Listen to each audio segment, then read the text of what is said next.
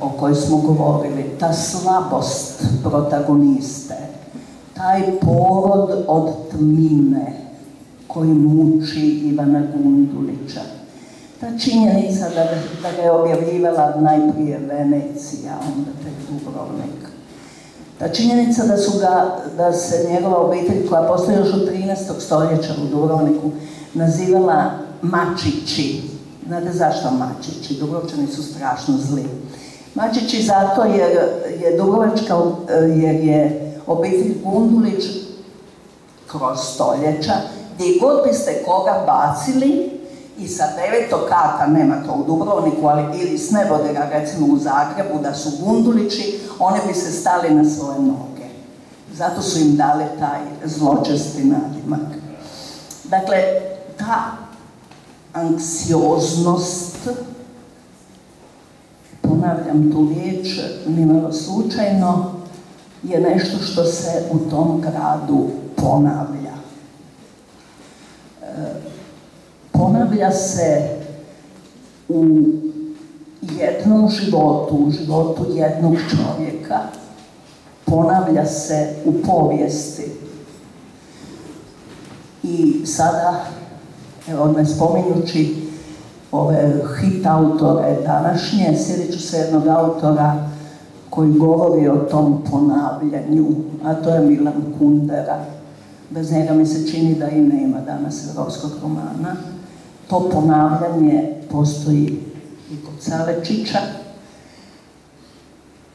E, ovaj roman kazuje kako je to s nama bilo i kako će to biti. I ovaj roman nam priča nevolje koje su nam se već dogodile. Njihov slučaj kao da najavljuje naše nasljednike Sva je nazočnost prošlost i sva je prošlost i nazočnost i budućnost. Bolje je od to mene rekao, naravno, jedan veliki gospodin koji se zvao Niče, a on je rekao ovako, povijest i postpovijest javljuju se kao vječno vraćanje jednakoga. Ili ono što je rekao Lampedusa, promjene se događaju kako bi sve ostalo isto. Kako bi sve ostalo isto. O tome na jedan površan, ali i vrlo dubok način govori Ivan Savečić u ovom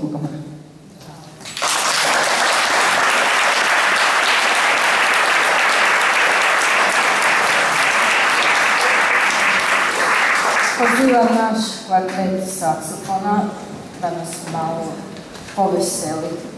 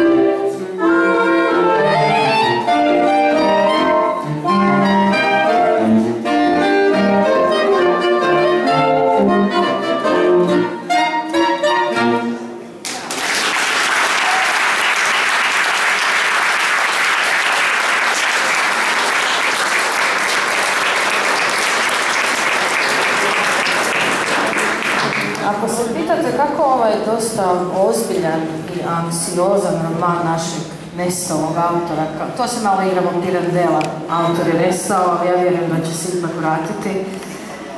Tako je. zašto ovako vesela glazba? Zato što uz svu anksioznost i mrak koji se rastvara u romanu postoji doista jedan light premaz od oštriga, šampanjaca, tuma, zabava, čak i lakih droga, neću imam djece, djete mi ovdje neću sad reklamirati, puževa. Dakle, roman svakako nije cijepljeni od te hedonističke ili pršave i vedre od strane života za koju mi se čini da su nam ih i ovi naši saksofoni tako lijepo dozvali. A kad smo već kod dozivanja, lijepo bih molila gospodina Daniela Rafaelića da nam sada nešto pokaže o Dubrovniku što nismo ni znali da se može vidjeti. Dobro večer, hvala vam. Nakon ovih divnih šlagera koji su bili filmski šlageri i I Got Rhythm, I Got Music, Who Could Ask For Anything More i Samo jednom se ljubi, vrlo je zanimljivo primijetiti dakle, na promociji novog hrvatskog romana, nekoliko istaknutih hrvatskih filmskih redatelja i redateljica su tu, tako da možda jednog dana i film, što bi bilo jako, jako dobro. Mani bi navlačila na predstavu, ali to ćemo se, to ćemo se dogovoriti. skoro će biti, ja mislim, sljedeće godine 20 godina, što ne mogu sam sebi objasniti da je toliko prošlo, da sam u mojim hodnicima razgovarao s jednom divnom ženom koje više nema i njena bista, kao što Mani kaže, tu bačena iza ovih vrata, zove se Ena Begović. Nekad je ta bista stajala, tu sad je tu iza da ne smeta nekom, jel? I razgovarali smo o Dubrovniku i Ena je rekla tada, vidjet ćeš, doći će vrijeme kad će ljudi jednostavno se odricati Dubrovnika i zato mi je drago da ga danas ovako evociramo, da ga se ne odričemo, zbog turista, zbog užve, zbog sunca, zbog vrelosti i tako dalje, ne, ne, želimo Dubrovnik i volimo Dubrovnik. A ova kako je Milana došapnula, ali se možda nije čulo, turistička soldateska koja okupira Dubrovnik svake godine, višekratno, počinje tamo nekih 20 20. godina kada zapravo i turizam cvijeta na ovom našem području, a tome naravno ulje na vatru doljevaju, doljevaju filmovi. Neke ćemo vidjeti od danas, oni su naravno na njemačkom originalu bez titlova, tako da to vam naravno neće smetati. Filmovi su to koji su dosta zanimljivi kratko, traju po dvije, tri minute, tek toliko da vidite kako se ta scenografija Dubrovnika, kako se ta jedna spektakularna, opet anksiozna scenografija lijepi u film koji je tada dosta, možemo reći, i površan, i lepršav, i zabavan, sve ovo i hedonističan prije svega. Dakle, sve ovo čemu smo slušali do sad, kako to izgleda u jednoj primjenjenoj umjetnosti, tada još ne pretjerano cijenjenoj. E, idemo u 30. odnosno 32. godinu, film čiji prvi kadar vidite ovdje iza mene, film se zove Princ od Arkadije. Arkadija je Dubrovnik, naravno, ja ću ustav mani da, evo eto ga, meni odmah da mogu stajati. Uh, Arkadija je Dubrovnik jer Dubrovnik, što je vrlo rijetko, glumi sam sebe. Uh, glavna uloga je Willy Forst, čovjek koji je bio velika zvijezda od Vilja, čovjek koji je slušao i ovakvu glazbu koju slušamo večeras, još jednom svaka čast, čovjek koji je došao prije tog snimanja u Dubrovnik, došao u Zagreb i to je jako važno, to nam je poveznica s ovom našom pričom. Čovjek koji je iz Njemačke došao ovdje i rekao treba čuvati filmove. Nemojte uništavati filmove, to čuva naše sjećanje. Vidjet ćete, ja sad idem u Dubrovnik, snimit ćemo taj krasni grad, sačuvajte te filmove. Od tada se u Zagrebu čuvaju filmovi tu preko na Dolcu. I otprilike kad on putuje vlakom za Dubrovnik polako, eksplodira dolac, ogromna eksplozija se dogodi na dolcu i čitava hrvatska filmska bašćina nestane u jednoj noći, 32. jer je to naravno sve skupa iskorelo, tada se počelo malo bolje paziti na filmove, na filmove kod nas. Međutim, ovaj film je bio ogroman hit, kako ovaj, ne samo Dubrovniku, nego tada uopće u Kraljevini Jugoslaviji, ali i Njemačkoj. Pokazuje kako se jedan lagani vodviljski pristup može zalijepiti za ovu jednu ozbiljnu arhitekturu ozbiljnog grada o kojem je Mani govorila, pa ajmo pustiti prvi, prvi insert, priču Arkadija.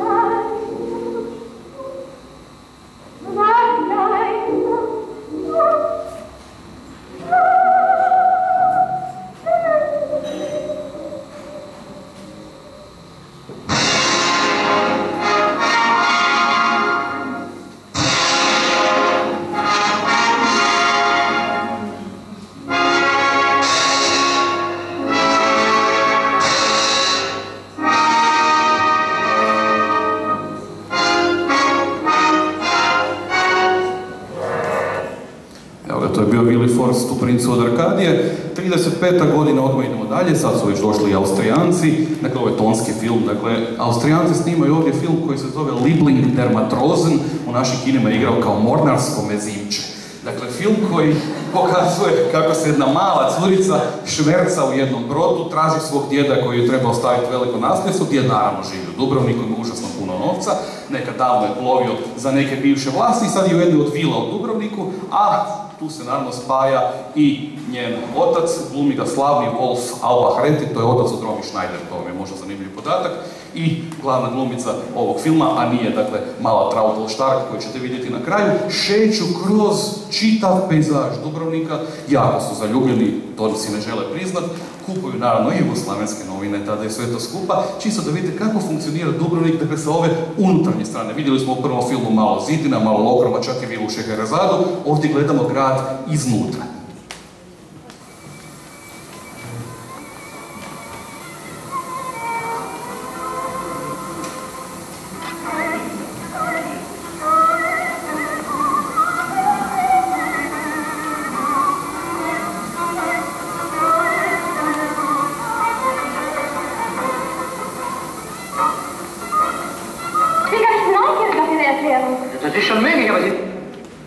Sreće s ovim klipom, preskočio je, zaustavit ćemo na trenutak, idemo dalje, dakle, vruće je pa vjerojatno ne funkcionira na kompjuter, došli su Poljaci, snimaju film koji se zove Panjenka s posterstant, dakle, cura iz pošte, jel? Ovaj, također, naravno, snimano sve skupo u Dubrovniku, ali ovaj put i u Konavlima i okolici Dubrovnika u Arboretumu. Dakle, sve ove lokacije koje su strašno, strašno interesantne, Poljaci snimaju, priče zapravo jednoj tajnici koja juri za svojim šefom, koji je tajkun, koji je zaboravio neke papire i nikako da ga stigne, zapravo je zaljubljena u njega i on u nju, ali ima različite su društvenih statusa, pa nekako se to ne mogu, ne mogu priznati, a Dubrovnik naravno nudi čitav niz svojih svojih ljepota, ja se nadam da ćemo onda, ovo onda vidjeti onako kako treba. Panjenka s bili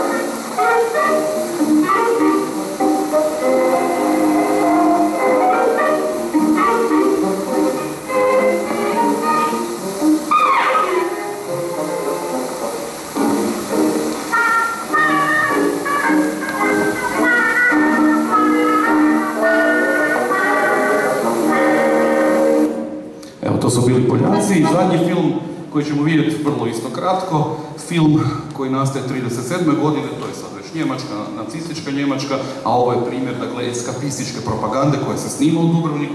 Film se zove Gasparone, film koji spaja arhitekturu Dubrovnika, Korčula, Lokruma i Splita sve u jednom imaginarnom prostoru.